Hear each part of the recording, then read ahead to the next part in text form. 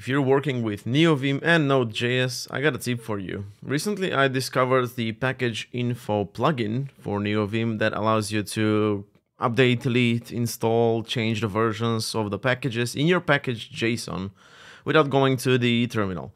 So you see the virtual text on the right. Uh, for example, the vueuse slash nuxt package has a has a new version. Instead of 10.5.0, the latest one is 10.6.1. So let's see how that works. If I do leader and then C for code, we can see that there's a packages group right here. So let's get into that and we'll see change package version, delete, install, update, and toggle. Toggle basically just hides the virtual text. So let's bring that back again. I should probably set that to T instead of V, but that's a little note for me.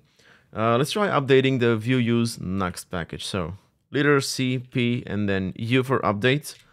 It's going to ask us, do you really want to update? Uh, let's go for it. And it's going to do that in the background and it's going to update our package JSON. There we go. It's going to update our package JSON file. There is a way for the plugin to also report on the status when it's loading or not. I saw that on GitHub. I just didn't have enough time to, configure that. Uh, but it's doable. It's doable.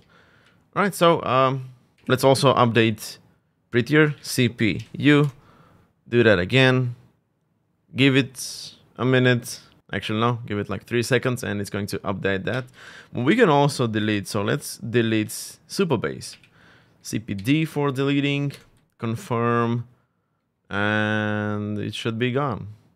There we go. Uh, now let's bring it back. So that was a dev dependency, as you can see from the top. Uh, let's do leader CPI for install package. It's going to ask us where we want to install it. And this was a dev dependency. So let's uh, so let's select development and then super base. Give it a few seconds. Beautiful. There we go. This is neat, right? Let's see how it's configured. I'm using uh, LazyVim, so inside of my Lua slash plugins slash where was it? package-info.lua file. I I just defined it. So I define it as a as a package. It has a dependency nui.nvim, so make sure to add that one. And because I'm using Catppuccin, I I needed to change the color to use the color from the Catppuccin theme. That's why I expanded on the config. I bring in the Catppuccin colors from the Mocha palette set up the package info uh, plugin. First, I'm setting the package manager to PNPM. That does not mean that it's always going to use PNPM. It is capable uh, to figure it out on its own. For example, if there is a package log JSON, it's not going to use PNPM. It's just going to use npm. Or if there's a yarn log file, it's going to use yarn.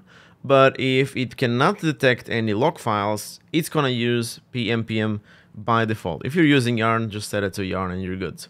Then I'm setting the hide up to date field to true. And that's basically don't uh, display any virtual texts on the rest of the packages that are not out of date. Right? So for example, TypeScript and Vue, they have new versions, but the rest of them don't show any virtual text. That's basically the hide up to date. And I like to remove as much distractions as possible. That's that. And this is how I set the outdated color to the colors.peach from the uh, Catppuccin palette. Cool. Uh, this is it. Then we go to the color scheme and I needed to do this because even though I set the color to the peach color, it still wasn't being applied to. So I needed to expand on the Catppuccin uh, plugin. Add a custom highlight with this field, package info outdated version and set that to peach as well. And that's how I pretty much fixed this. Uh, so that, that is the only thing that I needed to do because I'm using Catppuccin. Maybe you don't need to. Let me know in the comments below. Uh, and of course, then we have the key maps. And while we're here, I can also fix that one. So here's the toggle. Here's how you define the key maps. Instead of CPV, I'm actually going to change this to CPT for toggle. So yeah, code, packages, toggle you just require the package info uh, plugin and invoke toggle on it. Note that I also have a description or DESC uh, for each of the key maps. Uh, this actually populates the which key plugin. And yeah, I'm going to show you how to configure that as well. And yeah, these are the rest of the uh, key maps. You can find all of these in the GitHub repo of the uh, plugin. I just copy pasted everything. I use the set key map, which I have here. So that's vim.api.nvim set key map. And yeah, this is how I set the key maps. And let's also go to the which key plugin. So I am expanding on the which key plugin to add the leader CP group, set the name to plus packages, because if I don't do that, it's just going to be plus prefix and I just wanted to do leader C for code and the P for packages right here. That's the only thing that this line right here does so that I can name the group.